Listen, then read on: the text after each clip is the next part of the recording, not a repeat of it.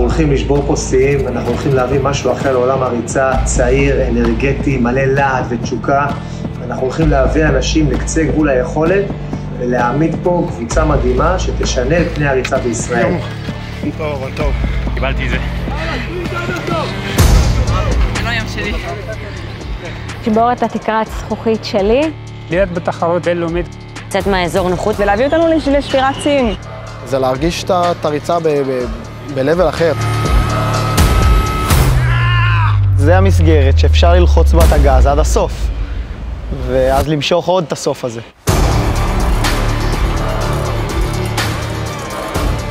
ולקחת אתגר כל כך גדול כמו מרתון, ולהחליט שלא רק מסיימים אותו, אלא גם מצטיינים בו. פלטפורמה מטורפת, ואני חושב שזה ידבר בעד עצמו במרתון ברלין.